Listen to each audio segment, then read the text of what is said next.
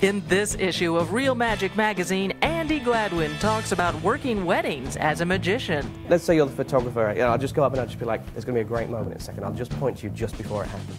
Three, two, one. I point to the photographer. And at that point, when the woman opens her hand, the whole audience are reacting and he gets the perfect shot. Bill Wisch shows us how to always find the selected card. Christian Painter talks about magic words.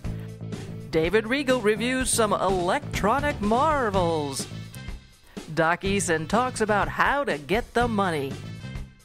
And Cosmo gets ridiculous. Plus, we've got three tricks and three moves for you. All this and more. It's the best deal in magic today. Reel Magic Magazine. It's television for magicians.